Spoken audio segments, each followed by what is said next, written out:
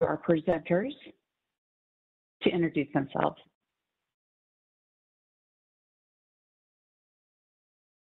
Everyone, my name is Russell Crane, and I'm product marketing for transceiver interface at TI. I focus on CAN and LIN transceivers. Um, also joining me today is uh, Shukla. He is uh, our systems engineer and who will be available to answer any of your questions throughout my presentation uh, via the chat box. So uh, feel free to ask questions away uh, and Vershank will do his best to answer them real time. so for today's agenda, uh, I'd like to give you a brief history of CAN, where we've come from, where we are now, and even where we're going.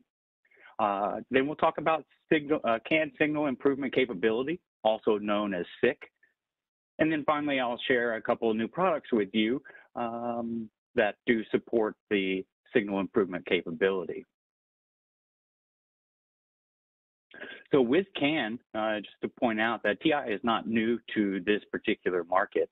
Uh, we've shipped over 2 billion units uh, worldwide for CAN and LIN and automotive transceivers, and that includes to um, almost every OEM and tier one uh, in the world. Uh, all of our devices are fully uh, compliant with the necessary emissions and have the necessary OEM approvals uh, and that includes these CAN SIC devices that uh, we'll be talking about today. So CAN bus has come uh, come from a, a, long way back. Uh, today, it's a very uh, ubiquitous um,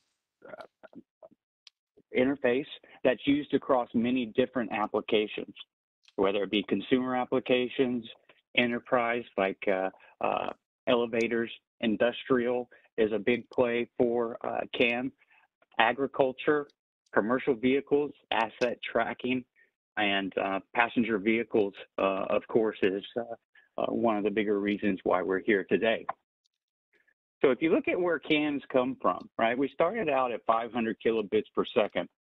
And with CAN FD, that moved up to one megabit, two megabits, and even five megabits per second. Um, CAN-SIC addresses the 5 megabit, uh, can be used across all data rates, but as you'll see, it's most useful at the higher data rates or when you have a very complicated topology.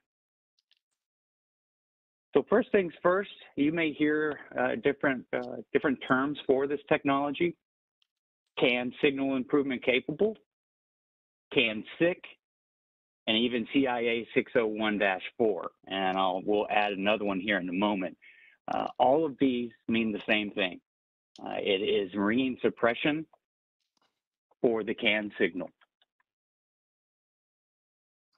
So here's the the the uh, the newer specification that you'll have to memorize. So the CIA 601-4 is the uh, CAN FD signal improvement uh, specification done by CAN in Automation. You can see here in the CIA 601-3 uh, is also a part of the node and system design uh, for, um, for CAN. And you can see here that both of these specifications will be merged into the standard 11898-2 updated for 2023 uh, from the uh, ISO organization.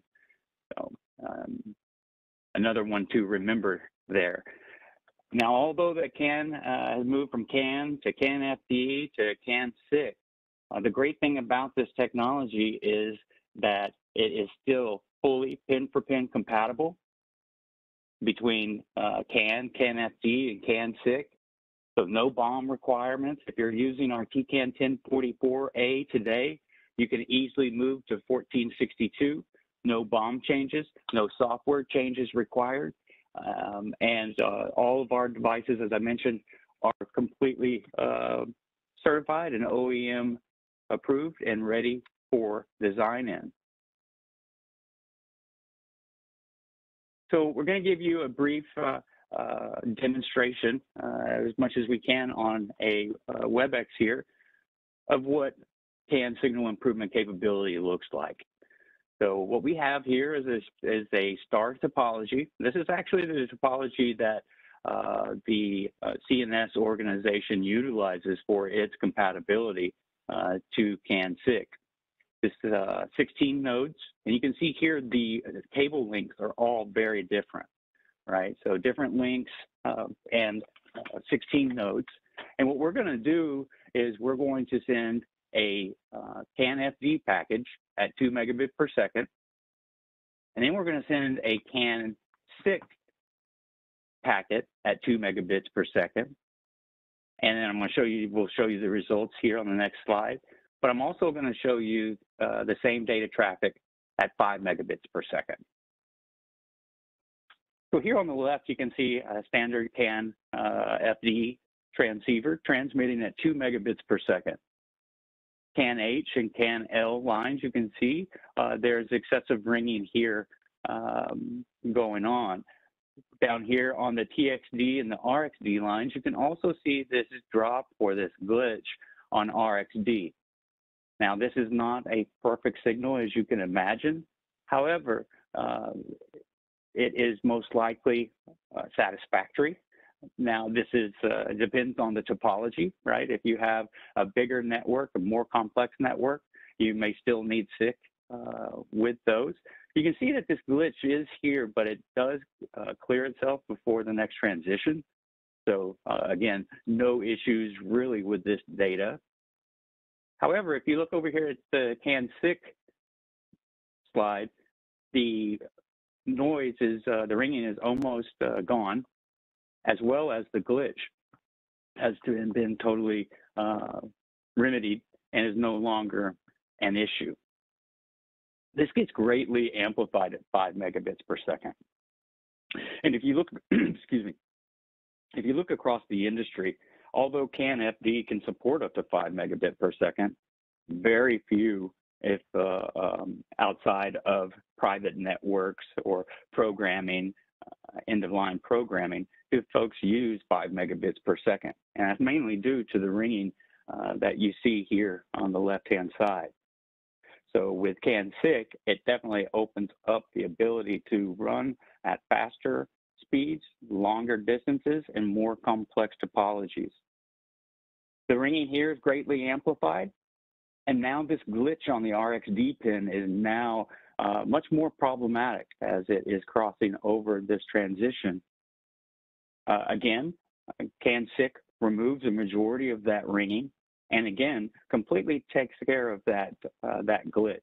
Uh, this signal would be definitely problematic uh, and cause uh, signal integrity issues, um, where the CAN-SIC version, you would not see the same issues.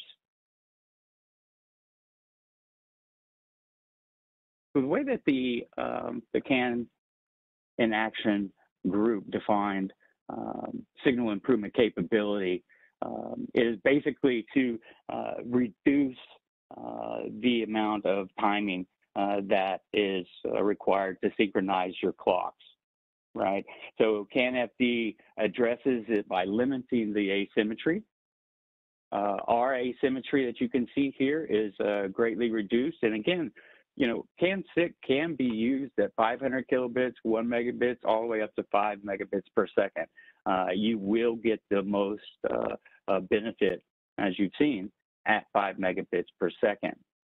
So this uh, this reduced symmetry here basically reduces the the sample point and provides additional timing for that signal to settle. but in uh, you know layman's terms, it's mostly is uh, is pure ringing suppression technology, and this is ringing tech uh, ringing suppression that TI has always had in our uh, CAN transceivers and LIN transceivers. Uh, however, this is a little bit further along uh, than than our previous ringing suppression. So if you know anything about CAN, you know that it's everywhere in the passenger vehicle as is the LIN bus as well. This is just an example of where you'll find CAN and LIN transceivers in the in the automobile, and we're talking about you know upwards of 60 nodes uh, for a, you know a high-end vehicle, uh, and that number keeps getting more and more as we're starting to move to more of a zone controller uh, architecture. And then you know, you're also seeing additional developments uh, on the LIN side for uh, for lighting as well. And just a, a, quick promo there, we also have a full line of LIN transceivers uh, available to you as well. So when you look at the different applications that CAN supports, right, where is CAN SIC going to really help? And some of those uh, applications are, are here, such as gateways, body control modules, zone controllers, phone as a key, uh, car access. We're really seeing a big uptick in the telematics and the digital uh, um, cluster as you can imagine, with all of the, um, the HEV and EV vehicles with the big displays, no longer analog dials on your um, on your dash. Uh, will be terrific for there. Uh, you would even may see that more in the infotainment uh, or or increased video uh, frame rates, as well as in ADAS, especially for front cameras, radars, anything that's going to have continual data uh, requirements uh, for that uh, for that streaming, and in order to make any you know adjustments to uh, the vehicle in traffic.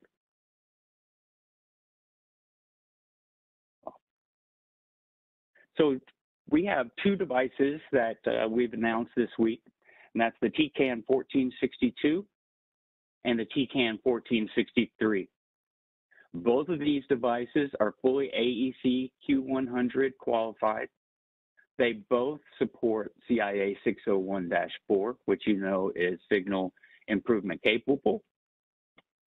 And you can see there as well that they also offer 58 volt bus fault protection. That is an increase over our competition that generally supports anywhere from 42 to 48 volts. And we do support temperature ranges up to 150 C junction. Now on the left is the TCAN 1462. It is an 8-pin, 5-volt CAN transceiver. We also have optional VIO availability for this device with support of 3.3 volt and 5 volt IO. We have also added 1.8 volt IO uh, to be able to do that level translation for the lower power 1.8 microcontrollers that are uh, becoming prevalent in the industry.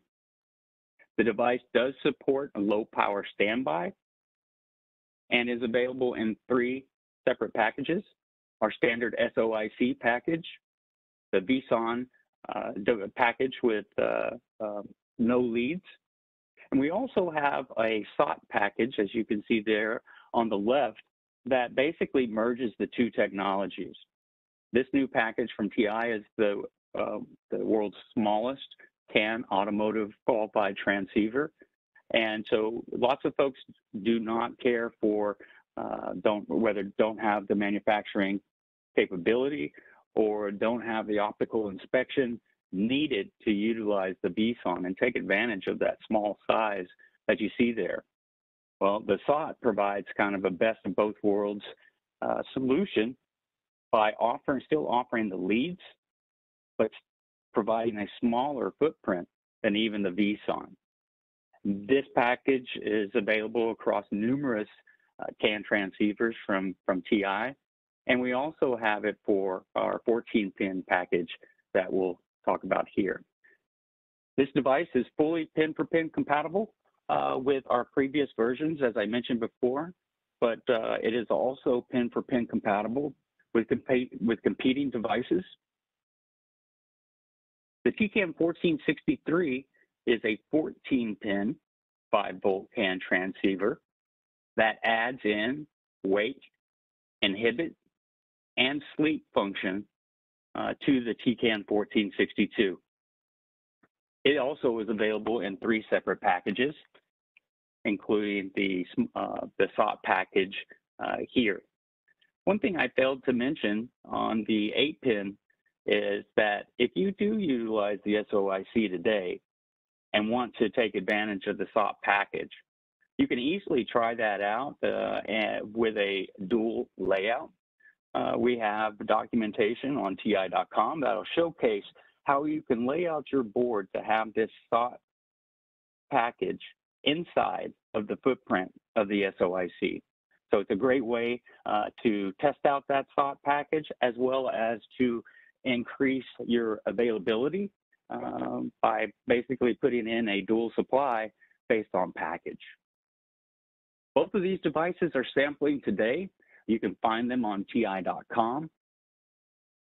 We will be in production in the middle of summer on both of these devices. So we look forward to working with you and uh, uh, on CAN FD and CAN SIC applications. Some places that you can go for some more information. Uh, obviously, as I mentioned, TI.com. Uh, our product folders are up. You'll see the data sheets. You'll have the ability to request samples and to um, browse some of the other documentation, such as this, uh, this white paper here that was done by one of our systems engineers that uh, really goes into a lot more detail than I can in such a short time uh, on signal improvement capability and how it unlocks the potential of CAN FD transceivers. Uh, as I mentioned, they've always been able to do five megabits per second, but only now can you really see the real potential of it via the ringing suppression. There's also a, a very uh, a small, short training video that goes into pretty much the same information that you're hearing today, uh, but feel free to kick, click on that link as well. There's also a, uh, a Precision Labs training course on CAN and LIN technology in general. And then lastly, feel free to browse our full line of CAN and LIN transceivers. Uh, we've been, as I mentioned, doing CAN for a long time. We have many different solutions, and uh, many of them are taking advantage of our latest and greatest uh, silicon process technology. And uh, they're built right here in Richardson, Texas. And with the announced RFAB 2 coming online uh, later this year, we'll also be able to increase our output on these devices as well as our LIN and SBC products as well. I thank you for your time and look forward to working with you, answering any other questions uh, on uh, CAN-SIC or any of our devices in transceiver interface. Thank you. Thank you so much, Russell. If you have any questions, feel free to ask them via chat. We'll hang on the line for uh, a minute more, and if we don't see any, we'll conclude today's session. Thank you, everybody.